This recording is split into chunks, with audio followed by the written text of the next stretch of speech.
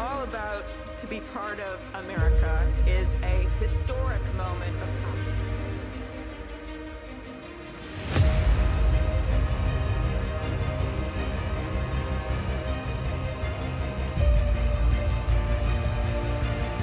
Rule number one don't get caught. They're saying you got your asshole bleached. Oh, that one is true. Bill fully forgot about the biggest international event of the year because you don't want to see your arch nemesis. Arch nemesis implies he's actually a rival to me on any level, and not, you know, a stuck up product of inbreeding who probably jerks off the photos of himself. Nobody's ever got the nerve to be cheeky to a prince, except you. First, White House and the monarchy are going to release a joint statement saying what happened at the royal wedding was a complete accident.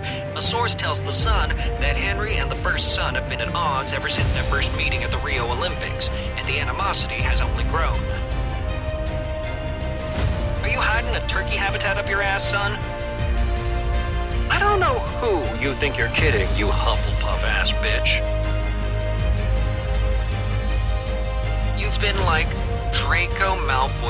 obsessed with Henry for years. Exploring your sexuality. Healthy. But does it have to be with the Prince of England? Called Henry the North Star once. That wasn't bright enough. I'm more than fantastic bone structure and an ass you can bounce a quarter on, Henry.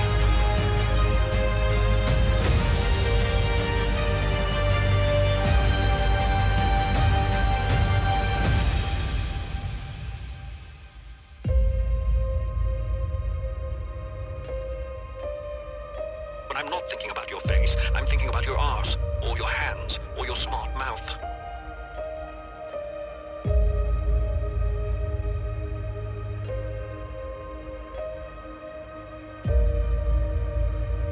Four, how your hands look when you play piano. If someone like that ever loved me, it would set me on fire. I meet you in every dream, and when I wake, I cannot close my eyes again for ruminating on your sweetness.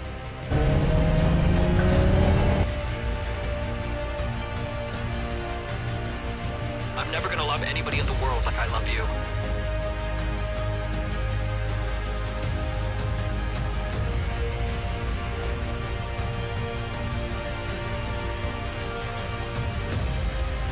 This is a forever decision.